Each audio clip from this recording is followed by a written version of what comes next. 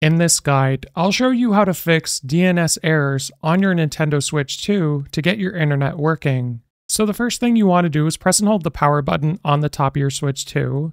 Then you want to go to power options and you want to turn off your console fully. Now after you've done that, you also want to unplug your home network for 30 to 60 seconds, plug it back in, boot up your Switch and see if your internet works. Now if you're still getting a DNS error, we're going to go to system settings on the home menu.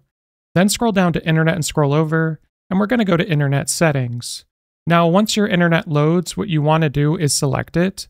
And after we've selected it, we're going to go ahead and go to change settings. Now, once you're in this section, scroll down and you want to look for DNS settings. And we're going to change this from automatic to manual.